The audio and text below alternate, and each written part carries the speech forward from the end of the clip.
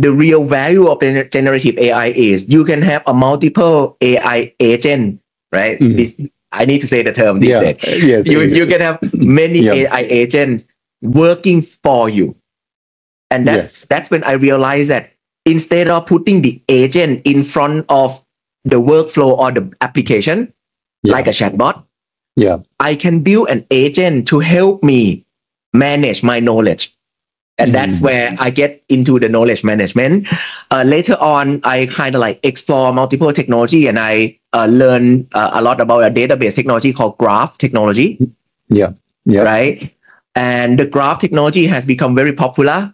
Uh, and, and now the new terms that everyone uh, calling is called graph RAG. So everyone Yeah. know RAG. Uh, Yeah. uh, which is a technical way to you know vectorize the data and feed it to the large language model to consume Right. and when you blend graph technology with graph RAG bingo you have a very good solution to capture the knowledge in your organization and people always ask me the Kunsarut, this is not new graph technology has been there for more than a decade yeah Yeah. i think one thing that people kind of forget about uh, uh, the graph technology is yes it's not new but LLM or agentic workflow, agentic AI is new.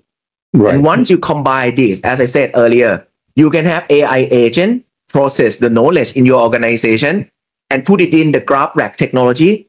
And uh, there you go. You can have a way to capture human knowledge in a Yeah. way that the large language model can easily consume.